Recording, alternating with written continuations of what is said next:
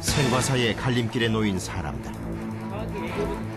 죽음의 문턱에서 가장 먼저 손을 내미는 이들. 바로 응급구조사다. 24시간 불철주야. 생명 구조를 위해 이들은 뛰고 또 뛴다. 숨가쁜 긴장의 연속. 환자가 있는 곳이라면 어디든 가야 한다. 최악의 상황 생각하면서 매 순간 예측할 수 없는 돌발 상황의 연속. 타인이라고 생각하지 말고 그냥 내 가족이라고 생사를 결정짓는 단 5분. 빠른 판단력으로 적절한 응급처치를 해야 하는 게 이들의 목. 그들의 손에 환자의 생명이 달려있다. 보동 주공 10단지 1006동 107호 어, 급자 어, 심정지 추정 출동각지 48 출동 명령이다.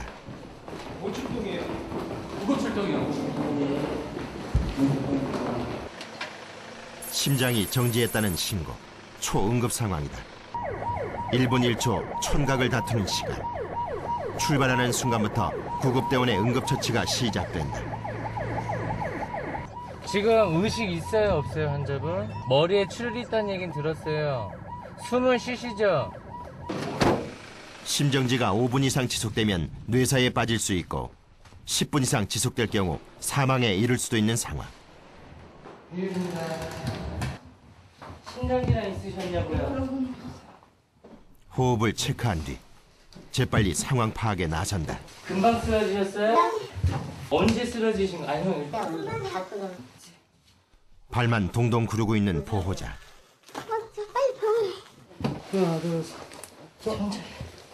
그러나 이 순간에도 응급구조사는 침착해야 한다.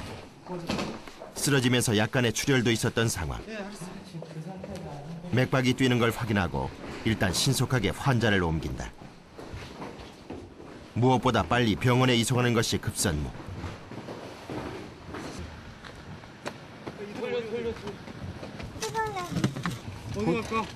가까운 데 가야 돼 가까운 데 또풀 빼더라고 연락 왔어요 지금 예 지금 얘기해 보세요 무슨 질환 있어요? 당뇨 있고요. 당뇨 또 그 전에 쓰러진 사람이 그러니까 뭐 때문에 17년, 16년 전에 그 뭐, 10년 전에 뭐가 가로로 쓰러졌던 적 있어요. 손대지 마세요 정확한 상태를 살피기 위해 먼저 심전도를 분석한다. 위태롭게 뛰고 있는 심장. 형 한도로 가야 돼. 가까운 데 가야 돼. 지금 심폐소생술 해야 돼요.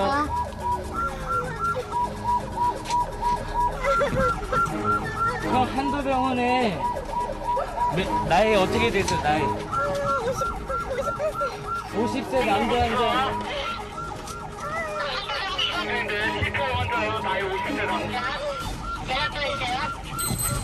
흉부를 압박해 환자의 심장 기능을 소생시키는 심폐소생술이 즉시 행해진다.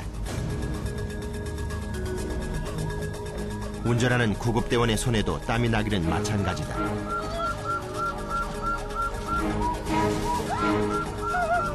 정확히 얘기해보세요 같이 있다가 쓰러지신 거예요.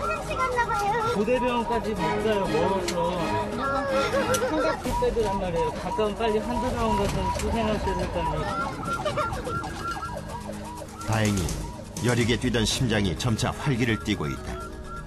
그래도 응급처치의 손길은 멈추지 않는다.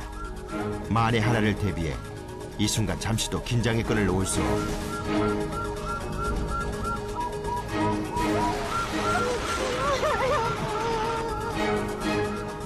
계속되는 긴장의 연속. 병원에 도착하는 순간까지 환자의 심장을 살리기 위해 그는 손끝에 온 힘을 집중한다. 5분 후 드디어 인근 병원에 도착했다.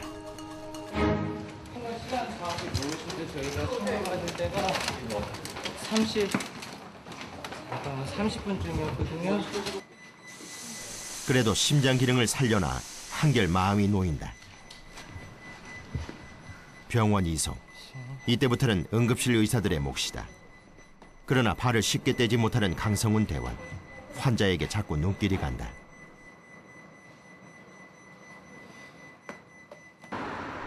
이 순간 운전하던 대원도 초조하기는 마찬가지. 마음이 쉽사리 진정되질 않는다. 보호자 입장에서 갑자기 이런 일을 당했을까 굉장히 어, 당황을 많이 하실 거예요. 아무래도 저분이 빨리 의식이 돌아오는 거 그런 거죠. 병원 문을 나서는 강성훈 대원. 잘 내놓고 왔어요. 어때요, 관장? 지금 뭐 심장 찍어봤는데 지금 돌아오셨고 CT는 옆에서 제가 선생님 하지만 CT 상인 이상 이상은 없대요. 그러니까 다른 쪽으로 검사를 해보실 것 같아요. 전쟁 같은 시간을 보내고 다시 복귀하는 대원들. 머리가 하얘질 만도 한데 휴식을 취하지 않는다. 곧바로 출동 보고가 이어진다. 생명을 다루는 직업인 만큼 응급처치 기록도 꼼꼼하게 작성한다. 심장 기능을 살려나 그래도 오늘은 보람이 있는 편.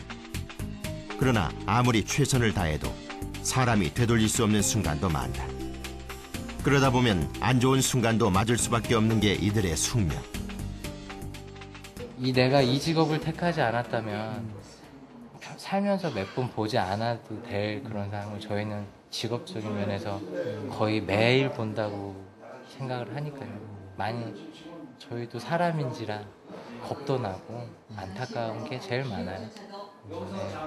외상후 스트레스라고 하죠. 저도 지금 구급대원으로서 7년 차지만 아직도 몇 년 전에 좀 끔찍했던 사고 현장이나 안타까웠던 게 그렇게 생생해요 머릿속에